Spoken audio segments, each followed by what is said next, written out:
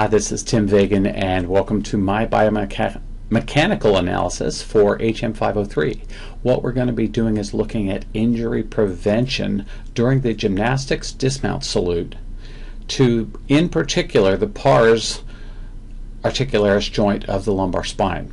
What we're going to be doing is taking a look at proper mechanical alignment, muscles used, and some of the stresses on the joint.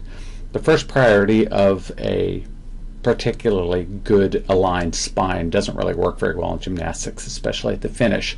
It is a subjective score, so we want to be really careful that the gymnast still looks aesthetically pleasing before we go ahead and make sure that they're aligned properly and decrease the stresses on the joint. In this analysis, we're going to look at the components of the dismount salute and also what we can do and give you some exercises that we can work on to prevent injury and increase flexibility and proper mobility. We're also going to look at a bit of an interregional dependence model of looking at the thoracic spine, the hip flexors, and all of the above that make sure that the body works correctly to decrease the pressures on the spine. What we're looking at here is my subject. Her name is Grace, and she is a Kentwood High School gymnast who is gladly helping me out just actually by stepping out in the yard and just showing primarily the salute. The salute will come from a variety of apparatus, and this just happens to be from tumbling in the yard, but it can also happen on the beam. It can happen on the floor exercises, which is going to increase much more landing forces. But the key thing is it's going into moving right along into the hyperextension of that lower spine. So what I'd like to do now is go ahead and take you right into the PowerPoint presentation of this mechanical analysis. So sit back, enjoy, and hopefully we'll get some really good discussions and questions regarding the gymnastics salute. Move on right into the biomechanical analysis. Here's Grace doing a cartwheel in the yard, and as you can see, she comes right into that salute position. So we're going to take a look and see what happens to the body during that salute position. So as you can watch, as she comes into it, the ankle is dorsiflexed, the knees are staying fairly stable. Her single hip is extending to neutral while the hips are externally rotating to screw home as her legs come together.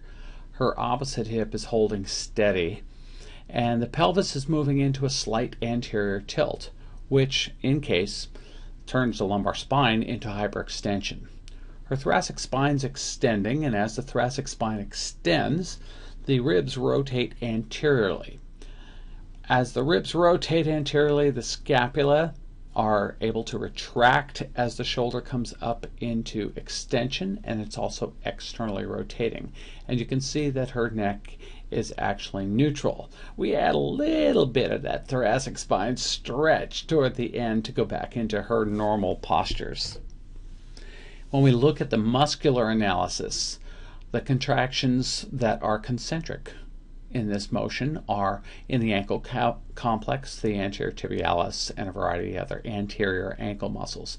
The hip extensors on the active hip, the ones that moving, they are concentrically contracting. Her lumbar extensors are contracting, scapular retractors, shoulder extensors, and shoulder external rotators are all contracting concentrically. The eccentric contractions are the ankle dorsiflexors, the hip flexors, the anterior abdominals, the multifidi in the spine, the posterior intercostals to prevent from excessive rib rotation, and the shoulder extensors and external rotators. There are isometric contraptions going on. The quadriceps and distal hamstrings are holding the knee steady. The spinal rotators are holding the spine in position, and then the cervical musculature is also holding the spine in position as well. when we think about how the body is working together, we're going to look at something that came from Gray Cook and Mike Boyle called the joint by joint approach. And what that basically talks about is the body is stacked up of a series of mobile segments and stable segments, starting down from the foot. The foot should be stable, and stability is, of course, the definition of that is to keep the joints under control under the presence of an external force. Then the ankles should be mobile, and the definition of mobility is the passive ability for a joint to move. Then you move on up the chain. The knee should be stable. The hip joint should be mobile. The lumbar spine should be stable. The thoracic spine should be mobile. The scapula the scapular thoracic joint should be stable and the glenohumeral joint should be mobile. And this really falls into what we call the interregional dependence model in the fact that if one area is tighter or not stable or not mobile, the other areas above and below it are going to take the issue that that joint's not having. So if the hips are not very mobile. Then the lumbar spine, which is above it, is going to take that extra mobility from the hips and try to move where it's going to be a little too much motion and can cause injuries to that lumbar spine. So when we think about the forces that are happening on the lumbar spine, we see gravity, of course, is causing the compression forces to come down. That hyperextension, if you look at the slide on the right, the picture on the right, can push forward with that spondylolysis defect as as it goes through. The vertebra will slide forward on each other, and that's actually where the pars joint is, is right in there, and that separation of the pars joint is going to cause that spondylolysis. Sometimes a lack of hip and T-spine mobility. If we take a look here at one of our models, Grace, and you look at a very tight T-spine and an extra hyperextension right at that arrow, and then my daughter, Emma, has a little better hyperextension or mobility in the thoracic spine, and therefore she is not extending quite as much right at that thoracolumbar junction. So we're not putting forces on that pars joint. There's also a lot of anterior shear forces that are happening right at the pars joint itself. And then the other forces from an external side of things is the absorption of the forces on the surface. Some of the corrections that we may want to do is try to work on mobility of the anterior hips and increase T-spine mobility. You can see some of these slides here where you're increasing both the anterior hip, getting the hip flexors, as well as T-spine rotation. And then here on the bottom slide is holding the lumbar spine still and actively moving the arm back and forth to help both extension and rotation of the thoracic spine.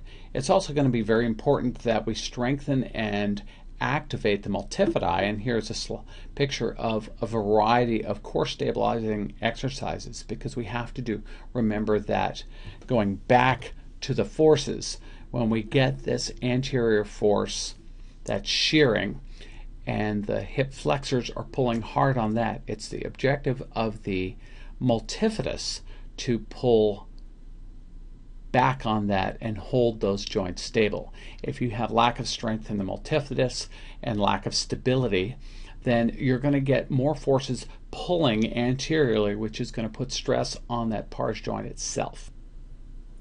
So there we have it, the biomechanical analysis of the gymnastics dismount salute. I really appreciate you taking your time to look at this. I look forward to some great feedback to find out how we should look at this a little bit more in general.